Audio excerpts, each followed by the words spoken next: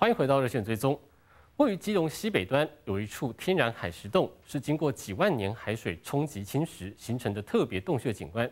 相传曾经有仙人在这里修行得道，所以被称为仙洞岩。而香火鼎盛的仙洞岩，目前供奉的神奇有观音、祝生娘娘、吕洞宾等，甚至还有日治时代遗留下来的观音石佛。而在岩壁刻有许多清朝时期所遗留的墨宝遗迹。还有民国六七零年代的十八罗汉、释迦牟尼、观音菩萨等石雕佛像，因此基隆仙洞岩还有小敦煌的别称。位处于基隆西北端，面港背山，山岩里一处经几万年海水冲击形成天然海石洞，这里是仙洞岩。仙洞听潮是基隆八景之一，要一解秘境玄机，我们拾级而上，深入洞窟之内。鲜花素果，香火鼎盛，众家神明位列在此，神秘且庄严，似乎隐隐透露着一桩桩仙洞传奇。那海石洞顾名思义，就是因为这个海水的侵蚀，那加上地形的抬升，好，那现在才能看到这样子的一个海石洞穴。好，那相传其实早。早年的说法，其实在这样子的一个山洞洞穴之中，哦，是很适合仙人在这边修行的，哦，所以呢，我们相传就会有仙人曾经在这里出没过的那个古代的传说，哦，所以就有所谓仙洞这样子的一个地名的由来。风水宝地，信徒为其信奉的神奇留住一席之地。此外，墙面上还有青铜制官员以及文人雅士刻下墨宝，斗大的仙洞，海外洞天。记录下到此一游。从同治、光绪年间一直到日治时期，其实这是台湾非常有名的一个所谓的名胜景点。好，所以很多的所谓文人，哈，早期很多文人他们流行到地方就要流行题字，好，有一个到此一游的感觉。好，那里面的内容其实就是形容这里的风景之壮阔。好，那前面的美景这样子。除了文人墨宝，我们再往前进入仙洞岩的右洞，短短一百公尺的石壁上。凿刻了七尊佛像，栩栩如生，让仙洞岩有小敦煌的美誉。岩洞里面的信仰里面，其实它是蛮少见的。哦，那主要我可以我们推测了哈，大概就是民国呃六六十年代到七十年代，基隆地区这边商业跟工业是很兴盛的。哦，所以这边吸引了相当多人来参拜。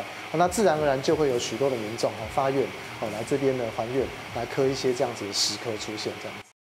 地藏王菩萨。扶着的通灵神兽身上染上一层薄薄的青苔，慈眉善目的千手观音被烟熏了面容。历经岁月流转更悠长的，还有从日治大正时期留下的两座石观音。其实这里在日治时期，它就是一间呃日治的神社哈，主要奉祀的所谓就是辩才天神。好，那比较可惜的是，在这个战后哈，因为政权的更迭哈，我们已经看不到这个辩才天神的遗迹了。好，那这边就是单纯的就是观世音菩萨的佛寺。好，那庙方为了保护日治时期的这个所谓的呃观观世音菩萨的这个法像哈，所以我们还是把它保留在庙内。相较于先洞岩右洞的明朗开阔，要一窥左洞奥秘，可就没那么简单了。我们接下来要进去的是所谓仙洞的左洞哈，那它的空间非常的狭窄哈，本身也是海蚀地形形形成的一个很狭长的走道。好，那我们等下进去的时候还可以用走的，可能到一段就是要稍微侧身一下。左洞路径曲折蜿蜒，这就是所谓的海蚀一线天。入口较宽处也只能容一人通行。行进间，不时有水从头顶上的砂岩滴落，溅湿了头发。走在前面的文石老师提醒着我们，千万要小心步伐。好，我们行走这个洞穴的时候，特别注意，就是我们一定要尽量行走中间的这一块哦，因为它本身积水非常的多哦。如果你不小心踩到旁边的话，它可能会可能会滑倒哦，大家一定要注意。而越往里头走，路径就越窄。好，你接下来进到这段就是。中间最窄的一段哈，有时侧身前行，有时候甚至只能采取蹲姿，一步一步慢慢前进。二十公尺的路径，不禁气喘吁吁，逼出满身汗。我们过了这一段之后，就会变得比较宽一点。一走出通道，柳暗花明。左洞的尽头处供奉着一尊圣观音，是日治时期仙洞主祀的神奇。据我们的了解了哈，它应该就是日治时期哈神圣时代的所谓圣观音的石像。好，那在右在我们这个左洞的终点哈，我们设立了一个神那个神案哈，还有香炉来祭拜这个圣观音的石像这样子。幽密僻静的仙洞岩左洞，除了日治时期遗留的佛像，在墙面两侧凹陷处，相传曾经有仙人在此打坐修行。我们刚刚这样一路走来，其实你可以感觉到这里过来其实就是一个很封闭的一个环境。我们要经由这么狭小的一个走道到这个地方，那在这里呢，就是一个潮湿，然后还有一个这个比较安静的一个环境里面哈，它主要是适合修行之人在这里面打坐。好，那主要的是练我们所谓的定力。许多故事口耳相传，随着朝代演变，在这里也留下了各种不同教派和神奇。日本来的石观音和十八罗汉、祝生娘娘、吕洞宾，坐落在各处，一起守护仙洞。佛道教相融，也跨越了台日语言藩篱。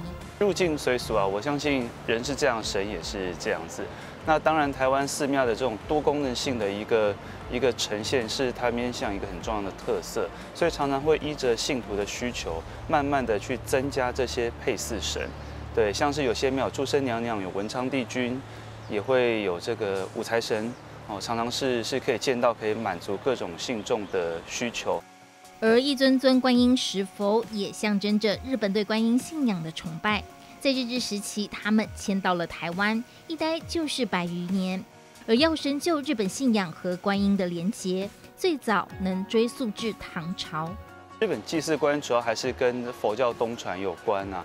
那佛教传到中国之后，再从中国中土向外扩散到整个亚洲，所以日本也吸收到了佛教的这个养分。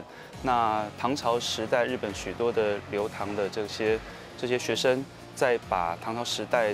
当地当时的一个信观佛教博兴的信仰现象，又带回日本，所以在日本的佛教体系里面，观音可以说是他们最重要的一个代表的一个信奉的对象。